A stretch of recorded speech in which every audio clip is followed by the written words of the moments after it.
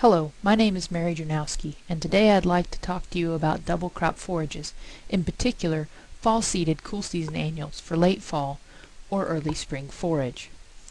These cool season annuals that are planted after your cash crop and utilized for forage either uh, in the fall or in the spring are a great opportunity for low cost, high quality forage um, that can be used to background calves or to feed lactating cows.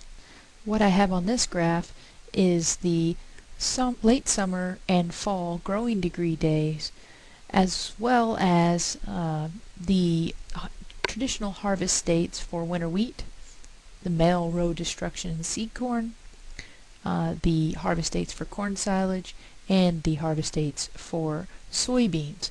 And as you can see, we get a rapid decrease in the growing degree days, which basically tells you the amount of heat that's accumulating uh, for growth of our cool season annuals. Decreases rapidly uh, throughout the late summer and early fall. So after winter wheat, we have a lot of opportunity to capture unused growing degree days. Uh, and with the traditional uh, harvest dates in July, we can either plant a warm season annuals or we can plant cool season annuals, partic particularly uh, if you're going to plant after about August 10th. Uh, at that point, it's usually better to go uh, with a cool season annual, and that's what we're going to focus on today is cool season annuals. Uh, when we have seed corn, uh, when the male rows are destroyed, there's a lot of light hitting the ground, and we can capitalize on that uh, and get a lot of growing degree days um, as well. In corn silage, we start uh, having a quite a reduction in the amount of growing degree days. Uh, early in the corn silage harvest period, uh, we can produce a lot of fall forage. Uh, when we get to about uh, the middle of September, we really need to start thinking about moving towards a forage that's planted in the fall but will be utilized in the spring, so a winter hardy uh, cool season annuals, and we'll talk about those as well. And then, of course, for soybeans, are really our only option, our winter hardy cool season uh, annuals that will be utilized for spring forage production. So I wanted to give you a good idea of what this uh, rapid decline in growing degree days really means. And so if we look at August 25th and we look at uh, southwestern Nebraska and say, okay, how many growing degree days will accumulate after uh, planting on August 25th? Uh, we see it's about 2,000 growing degree days. Uh, when we back that up till September 8th, and we look at the growing degree days, so those 14 days there, we uh, we lose uh, about a fourth of our growing degree days. We're now at 1,500 growing degree days. Well, what does that really mean? Uh, what that means is that we get quite a reduction in the amount of potential plant growth. So I have here a picture of some purple top turnips and some daikon oilseed radishes that were planted in clay center um, either on September 8th or August 25th and you can see the substantial difference between the amount of growth from the August 25th planted and the September 8th planted. Uh, so uh, the bottom line is we want to um, commit to planting as quickly and as early as possible if you're looking for fall growth. And then the other part is uh, water is very important. So if you have the ability to irrigate um, and your soil moisture is not optimum, um, having irrigation for quick germination and emergence will be will allow you to be able to capitalize on those growing degree days uh, because it's really not uh, it's really not planted until it germinates. Uh, if it sits in the ground for two weeks, it'll be the equivalent of you planting it two weeks later. A lot of people say, well, uh, you know, I can't afford to be out planting. I need to be harvesting. And so I would point out that uh, because of the extra potential forage production, it's probably worth hiring somebody to plant, especially in those early harvested fields. Those are the ones that you can really get uh, the forage production on. And so going ahead and making that happen is, is probably worth your time. So I'm going to talk about two uh, types of cool season annuals today, really the cereal grasses or the small cereal grains. Um, most of those have a full seeding rate that are around 100 to 120 pounds an acre. And Basically, full seeding rate just means that if you were to plant it in a monoculture, that's the seeding rate we would recommend. If you plant in a mix, then we're going to suggest that you cut back uh, from the full seeding rate of both the species. Uh, and a lot of times people are targeting between 100 and 150 percent of the full seeding rate for that mix. Uh, I have here two uh, most common types of cool season cereal grasses that are used for forage uh, in our intercropping systems. Uh, we have oats and we have cereal rye. You can see that the cost uh, per acre really isn't very different, but oats are winter sensitive and cereal rye is winter hardy, which means winter sensitive. These oats will die out in the winter. They will not come back in the spring, whereas cereal rye will overwinter. We also have barley, triticale, and wheat. And for these three species, uh, we can find both winter varieties, which should be winter hardy, and spring varieties, which are winter sensitive. I will say though that you have to look carefully at the winter varieties, especially for barley. Many of them are not hardy enough uh, to overwinter here in Nebraska. So some of you may be asking why would I plant uh, a winter sensitive uh, small cereal grain if if uh, I it won't overwinter? And the reason why you might uh, think about that is because the winter hardy species don't produce nearly as much forage in the fall as the winter sensitive. So if you're looking for fall forage, uh, winter hardy species uh, won't give you nearly as much as going ahead and planting a winter sensitive species. So you do have an option, however, of actually mixing the two planting uh, both a winter sensitive and a winter hardy so you can have both fall and spring forage. And the data out there says that having winter sensitive species mixed in with your winter hardy will not reduce your spring yields of your winter hardy. So I also wanted to discuss brassicas, uh, turnips, kale, rape, collards, uh, mustard, those are all brassicas as well as radishes, which I'll discuss in just a second. They are winter sensitive, meaning that they do die out over the winter. Uh, the nice thing about brassicas is because of their small seed size, they tend to have uh, a low seeding rate, uh, 5 pounds per acre. We get a lot of seeds in those 5 pounds. Uh, we don't recommend seeding uh, brassicas alone uh, because, as I'll show you in a little while, they're low fiber, high sulfur, and so um, they don't produce a good uh, diet for uh, ruminants by themselves, but they're very high quality and they can produce a lot of rapid growth, so they are a good option to put into a mix with a grass. Uh, turnips, the purple top turnip is very cheap, $1.80 a pound. Uh, if you were to seed it alone, it would be $9 an acre. Again, I don't recommend that, um, but you can see it's fairly low cost. There are hybrid turnips out there, which we'll talk about as well. Uh, those hybrid turnips uh, are a little bit more expensive, somewhere around 350 a pound. Uh, there's also kale and rape. As you can see, they're somewhere in the middle, 275, as well as collards at 250. Um, what I will show you is that uh, that they're not very different in terms of their forage quality. Now brassicas are um, in radishes in particular are winter sensitive as well.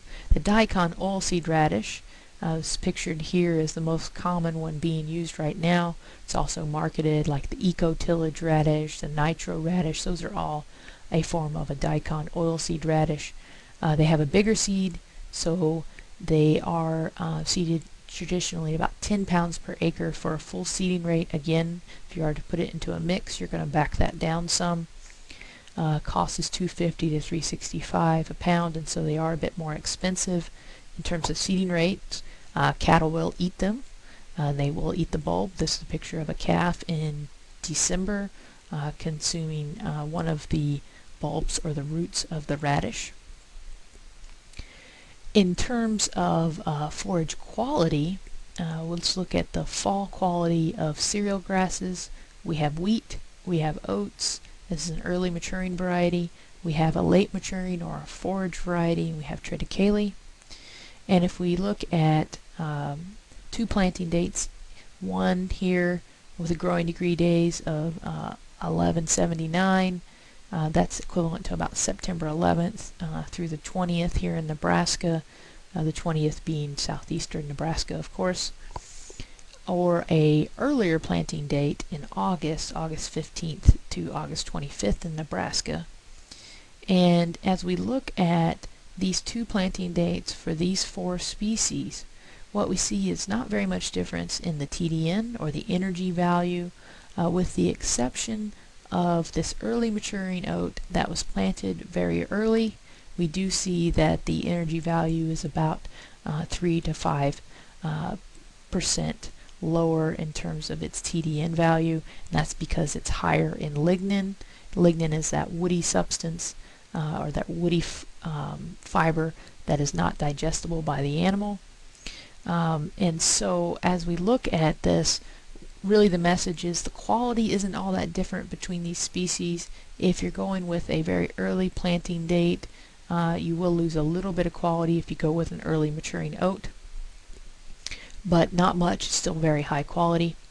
And then the other thing I want to point out is the NDF level. This is the fiber level, and you can see that it's about uh, 40 uh, to 50 percent NDF. This is important because uh, we want to mix them with those brassicas, which I'll show you are very low NDF, to make a good diet for our uh, ruminants. Now the spring quality, so if I'm planting a winter hardy species and I want to look at using it for spring forage, it acts more like a traditional um, forage that we would think about as it matures. Uh, we get more yield, but we actually lose some of our quality. So going from the boot to the early dough stage, as we get more mature, we get more tons of dry matter per acre, but uh, we lose crude protein and we lose digestibility. So you have to balance uh, both yield and quality in the spring. In the fall, with the planting dates uh, that we're talking about, somewhere in August, uh, we don't see a lot of changes in quality uh, with the exception of that early maturing oat. Now the nutrient content of the brassicas, uh, this is actually the nutrient content of the radish. This is a daikon oilseed radish, a radish top, um, and the radish tuber or the bulb, and a purple top turnip top as well as the bulb. And these were planted uh, between August 5th and 10th in southeastern Nebraska. And then right before a freeze we harvested them. And what we see is very high crude protein levels in our tops, 18 for the turnip, or excuse me, the radish, 13 for the turnip. Uh, still fairly good for the tubers, 8% for our tubers. Again, the fiber here is really low in the leaf as well as the tubers, and this is a problem if we were to seed them alone. Uh, it's not enough fiber uh, we, cattle will be very loose and uh, will have digestive upset. So we do suggest actually adding a grass into the mix. Uh, traditionally, we would say somewhere around 50 to 60 pounds of oats with three to four pounds of a turnip is a is a nice mix uh, for uh, grazing cattle. The other thing I wanted to show you here is that the sulfur content of these brassicas are very high, 0.5 to 0.6. Uh, the maximum tolerable level is currently stated to be between 0.3 and 0.4 percent uh, sulfur in the diet, and so we need to mix uh, these brassicas with the grass. Oats are usually around 0.2 just to dilute out that sulfur and avoid problems with uh, polioencephalomalacia or sulfur toxicity. The bottom line, brassicas are very digestible, 80 to 90% digestible, and so uh, can be very good quality feed for a relatively low cost. Just to avoid those issues of low fiber and high sulfur, put, a, put a grass in the mix as well. Now there's a couple different types of turnips. Um, the most traditional is the purple top uh, white globe. It's that's that buck 80 that I was talking about before. There's also a green globe. Um, both of those do produce a bulb. There's um, some leafy types like the Appin. It does still produce a bulb, but it's supposed to produce more leaf. Then there's some hybrids like the Pasja that's pictured here, uh, the Winifred and the Hunter. Uh, they're mixed. Um, the Winifred is mixed with a rape, and so it does not produce a bulb. Uh, in terms of productivity, why would I choose one over the other? Well, uh, the truth is that the purple top turnip uh, likely is is the cheapest and if you're not going to have multiple grazings it may be the way to go uh, especially in the cover crop type system because we don't get enough time for growth to accumulate uh, such that they put a lot of energy into producing the bulb. The one exception would be early planted um, after wheat. Uh, at that point you might see a little bit more leaf growth um, out of uh, one of these hybrids. However, cattle will eat the bulbs if you leave them in there. Uh, usually they do eat the leaves first and then they'll come back and eat the bulbs. If you're going to do multiple grazings, uh, one of the benefits of some of these hybrids is that uh, they're less susceptible to damage um, that would keep them from regrowing. Um, I have seen uh, hoof damage on the bulbs of the purple top turnips where they do start uh, to rot. And so and cattle do tend to dislodge them a little bit more. So multiple grazings there might be a benefit. In terms of nutrient content though we look at the different types of turnips. We see really no difference in protein uh, fiber uh, ADF which kind of gives us an idea of energy uh, which there's really no difference there and um, non-structural carbohydrates that's really the sugar. It's very high and also not different. If we look at fall yield of the brassicas, and I'm only looking at the top growth or the leaf, um, at basically three different planting dates, either uh, really early planted in green, that's August 15th to August 25th, kind of after uh, late after winter wheat, or planted into seed corn, or maybe very early harvested uh, corn silage. Then the blue we kind of have a, a middle date uh, August 23rd to September 1st. That would be a traditional corn silage. Or um, a little bit later planting, August 31st to September 10th. And really, that's in red. Really, what we're what we're looking at is what's the difference in growth between the purple top turnip, the Winifred, the Hunter, um, a rape, or a dwarf kale. And what we see is that with the early planting date in green, we see that yes, the Winifred did produce more uh, leaf growth than uh, the purple top turnip. Hunter was about the same as purple top. Uh, the rape, uh, which tends to be a little bit later maturing, also produced uh, more growth uh, than the Hunter and the purple top, as well as both um, the Winifred and the rape were a little more productive than the kale. Now as we move to the next planting date, that August 23rd, September 1st, we see that that pretty much washes out. There's really no difference among any of these at that point. Uh, so bottom line, really early planted, there may be an advantage to something like Winifred um, or a rape. Remember, uh, however, when we look at uh, those later planting dates, we see no benefit to the extra cost. So if uh, if you want more information about using these annual cool season forages uh, for late fall or early spring double crop, we do have a NebGuide out there. Um, you can find it on our IANR publication webpage as well as there's a link on our beefunl.edu.